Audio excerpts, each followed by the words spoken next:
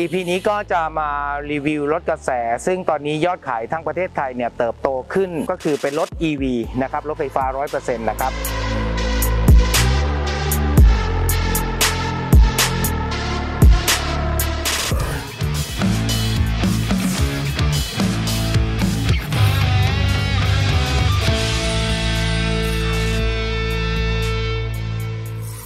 สวัสดีครับท่านผู้ชมครับพบกับผมเฮียป้อจันทบุรีไทยยินยนอีกเช่นเคยครับ EP นี้ก็จะมารีวิวรถกระแส ซึ่งตอนนี้ยอดขายทั้งประเทศไทยเนี่ยเติบโตขึ้นมากนะฮะก็คือเป็นรถ EV นะครับรถไฟฟ้า 100%นะครับซึ่งปัจจุบันนี้เนี่ยทางบริษัทไทยยนต์เองเนี่ยก็ได้ได้นำยางสำหรับรถไฟฟ้าเนี่ยรถ EV เฉพาะเนี่ยเข้ามารองรับลูกค้านะครับท่านผู้ใช้รถไฟฟ้าในจังหวัดจันทบุรีและจังหวัดใกล้เคียงเนี่ยถ้ามีปัญหาในเรื่องของยางรถของท่านเนี่ยก็สามารถที่จะเข้ามาติดต่อทางไทยยนต์ได้เลย เพราะเรามีบริการแล้วก็มีไซต์ที่เก็บสต็อกพร้อมขายเนี่ยพร้อมเสิร์ฟให้ลูกค้าเนี่ยในทุกๆ ขนาดของรถ EV ที่อยู่ในเมืองไทยนะครับแน่นอนครับรถ EV เนี่ยเป็นรถที่มีภาระ load เนี่ยสูงกว่ารถสันดาปทั่วไป เนื่องจากว่ามีแบตเตอรี่เนี่ยใต้ท้องรถเนี่ยชาร์จไฟได้มากน้อยขนาดไหนนะครับซึ่งภาระ load เนี่ยเยอะขึ้นแน่นอนโครงสร้างของยางก็ต้องปรับเปลี่ยนมารองรับกับภาระ load ที่มากขึ้นของรถยนต์เช่นกัน ไม่งั้นลูกค้าก็จะเจอปัญหาคือ 1 ในเรื่องของการเปลี่ยนเลนการทรงตัวนะครับอาการย้วยโครงก็จะเยอะถ้าไม่ใช่ยาง EV โดยตรง แน่ๆเลยเรื่องการสึกหลอนะครับก็จะสึกหลอได้เร็วถ้าท่านเอายางทั่วไปมาใส่รถ EV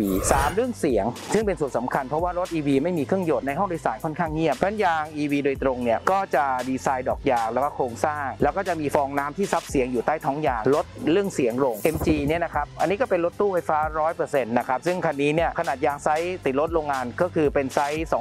23559 นะครับ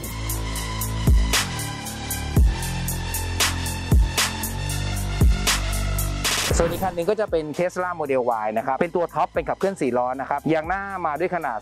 255 3521ยางหลังเป็นเบอร์ 275 3521 อันนี้พิเศษนิดนึงคือตัวเป็นตัว Pilot Sport EV นะครับสมรรถนะในการขับขี่ในความเร็วสูง